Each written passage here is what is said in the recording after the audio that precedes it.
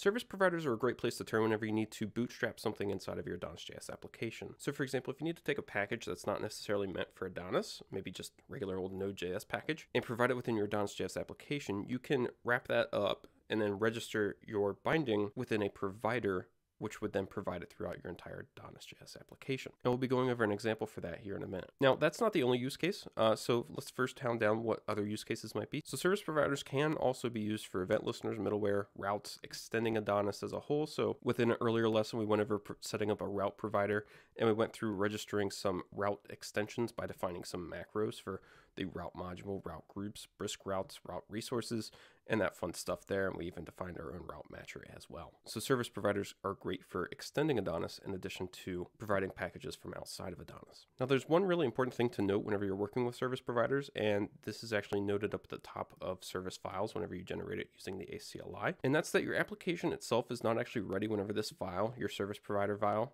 is imported by Adonis.js. So if you try to import something that uses the IOC container within the top level of this file, it's going to cause an error. And that's because the IOC container is not yet ready at that point in time. So if we take a look over at our app provider here, you'll notice that the methods that we are stubbed out here are actually lifecycle methods. So as Adonis reaches a different point within the application's lifecycle, each individual method will be called when that point is received. So Adonis.js will import our service provider, and then whenever it's registering IOC bindings, it will call the register method for each provider that's registered. Whenever the IOC container is ready, it will call the boot method. Whenever our application as a whole is ready, it will call the ready method.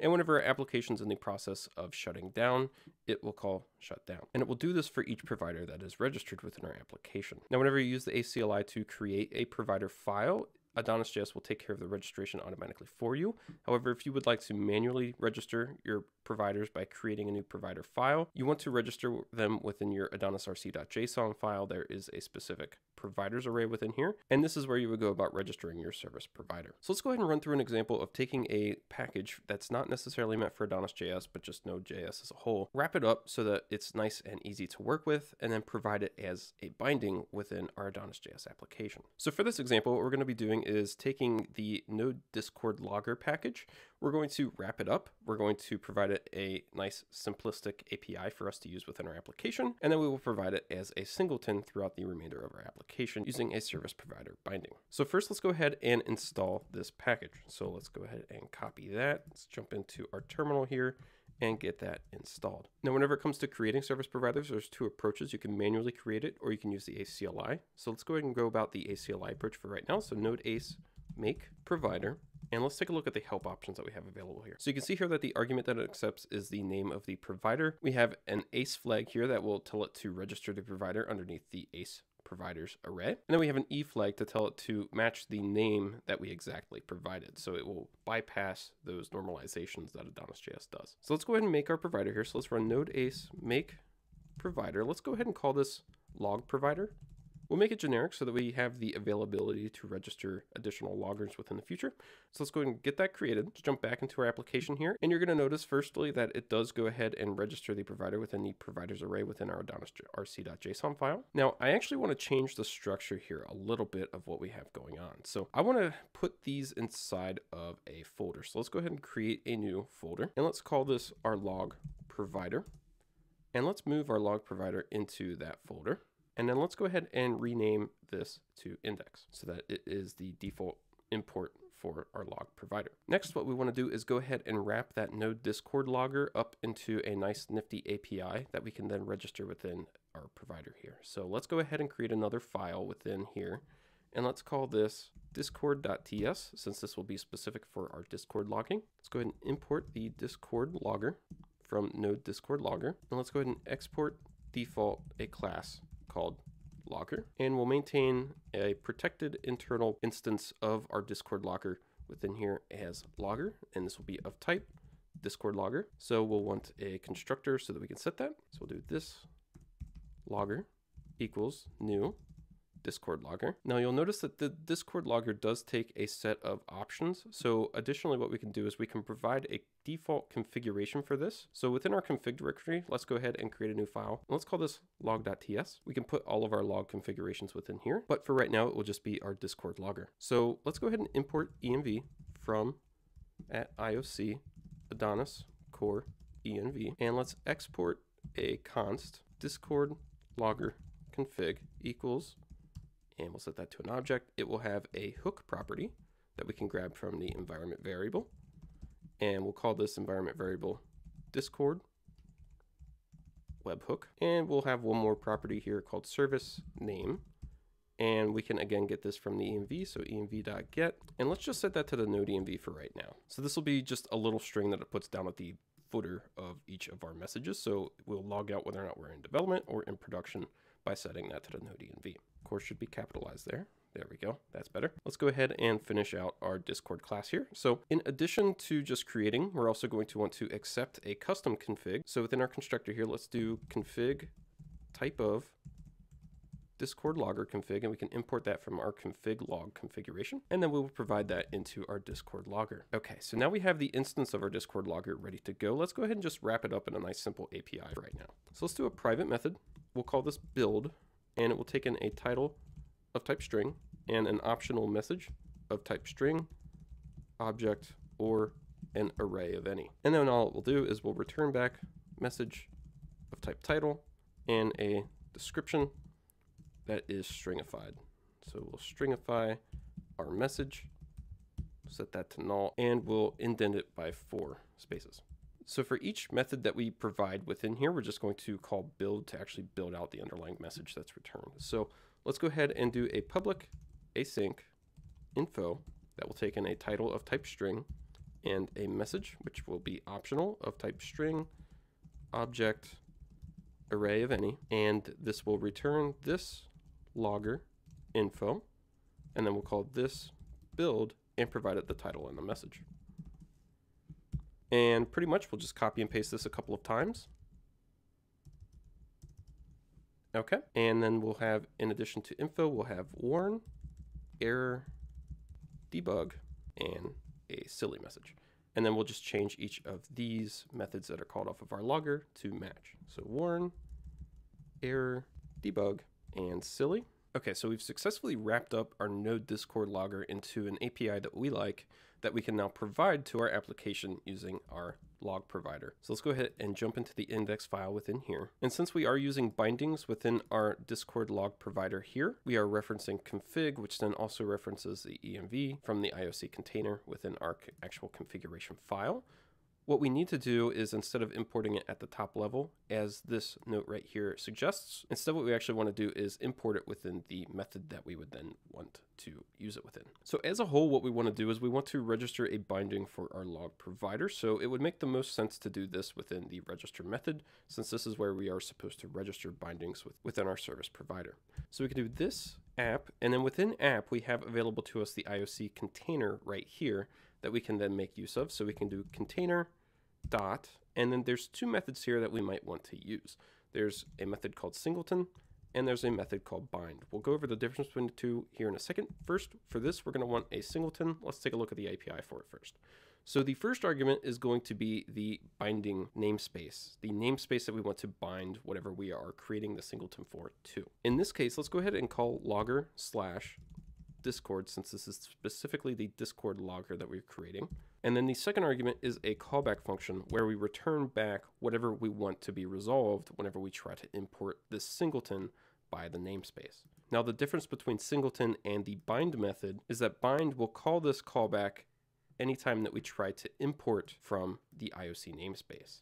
Whereas singleton will only call this callback one single time throughout the entire lifetime of our application, and then it will use that same return value for each time that we import from our IOC namespace. So if we wanted to maintain the connection for our Discord webhook, we would want to use singleton so that that webhook connection isn't recreated every single time that we import our logger Discord namespace. Now that we have our singleton here, what we need to do is define what should be returned back for the singleton value. And for that, we would want to create a new instance of our Discord logger class. So first what we're going to want is our config to provide into our constructor for our class. So to import the configuration, let's do const, and then we have this as a non-default export. So this will be Discord logger config equals, okay, so we can do this app, and then within the app property again, instead of using container, we want to instead use config so that we can import a configuration item. And then off of config, we can call get to get a particular configuration. And then all that we need to do is provide it the actual key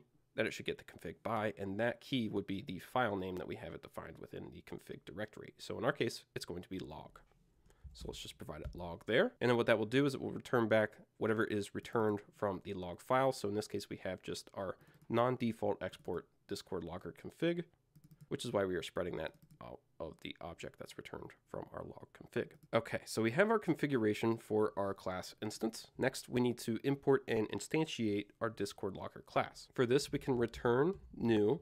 Let's wrap this up in parentheses, a require call to dot slash discord. So we'll relatively import from our index provider file over into our discord.ts file. We will grab the default return value from that. And then all that we need to do is call our parentheses and provide it the discord logger config. This particular syntax here might be a little confusing if you're not familiar with it. So what we are essentially doing is in one line, we're doing const discord logger equals require slash relative discord default and then instead of the having the parentheses here, all that we're doing is calling new Discord logger and then providing it the Discord logger config. If you'd prefer to have a more readable approach, you could do it this way as well. Okay, so last thing, since we're defining a namespace here, what we need to do is inform TypeScript about this new namespace that we have within our application. Once we inform TypeScript about it, we are all set to go and we can then use the namespace within our application. So within our contracts directory here, I'm going to stick with the slash approach that we have here. So I'm going to define a new directory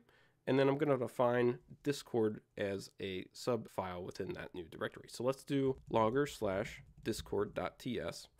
And what this will does is it gives us pathway to add additional loggers. So maybe if we wanted a Slack logger in the future, we could provide a slack.ts within the logger provider. We could export a Slack logger config within our config file, and then we could add a Slack logger file to our contract directory as well. So within our contract logger discord.ts file, let's go ahead and declare module. And then whenever we provide the namespace within our service provider, we do not want to prefix this with at IOC colon. We don't want to pre prefix it with that there. All that we need to do is provide the underlying namespace that we want this to be bound to.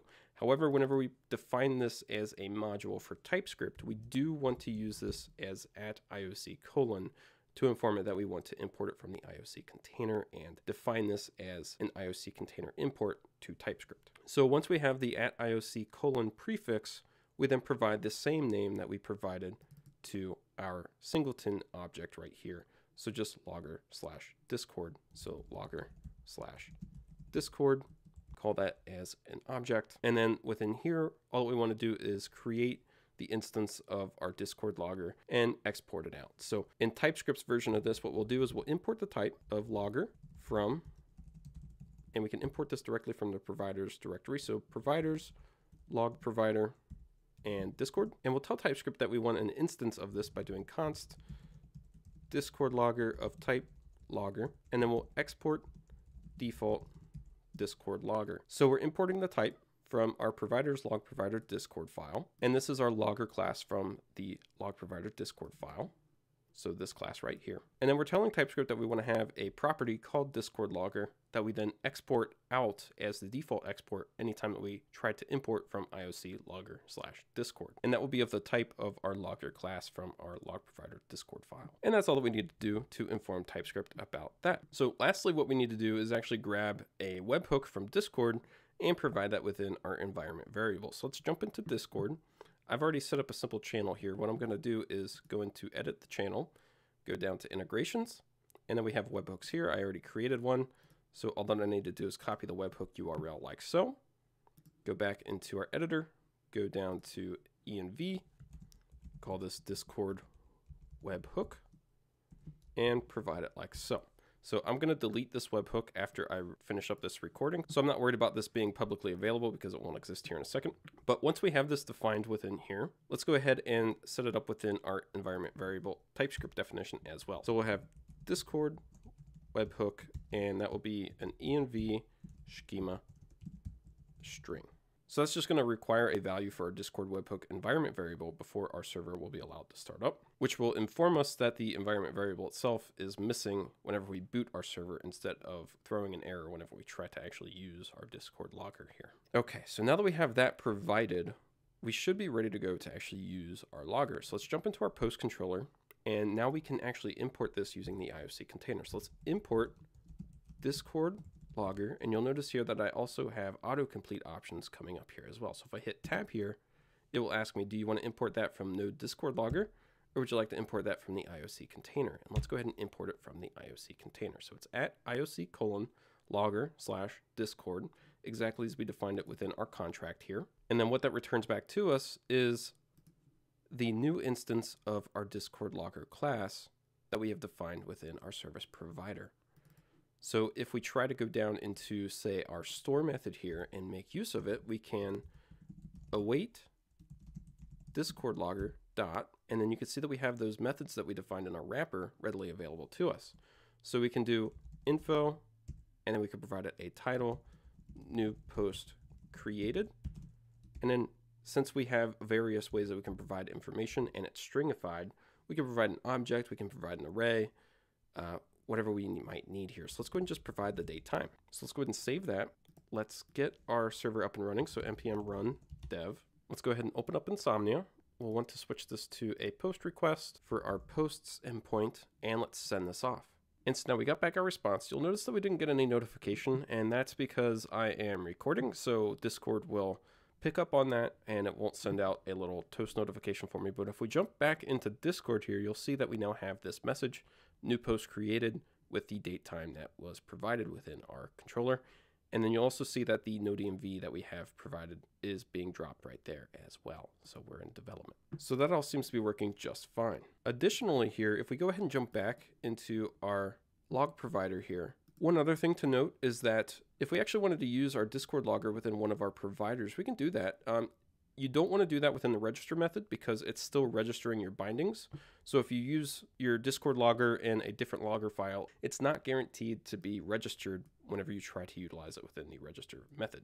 So instead what you want to do is use it within the boot method. So if we come down to the boot method here, we can import it by doing const logger equals this app and then off of the IOC container again, we can call use to import a particular registered namespace. So here we're already telling it that we want to use the IOC container by calling it off of container. So we don't need to provide the at IOC colon prefix. Instead, we can just provide logger slash discord and it will be readily available to us. And this will be a synchronous call. You also have available if you want async, a use async method that you can use the same way. Just tack an await on here, just like a normal promise. But whenever we just use use, that is synchronous, so we can immediately use it right afterwards. So we can do silly, and we'll do discord logger registered. And if we go ahead and save that and reboot our server, jump back into here, you can see, oh yeah, it restarted whenever I made the change. And then whenever we restarted our service, it also ran it there too. So that is working a-okay as well. So there's a little bit of information on how to wrap an external package into Adonis.js using service providers, a little bit of information on what service providers are and how to use them, in addition to how to register things using the IOC container as either a singleton or a binding.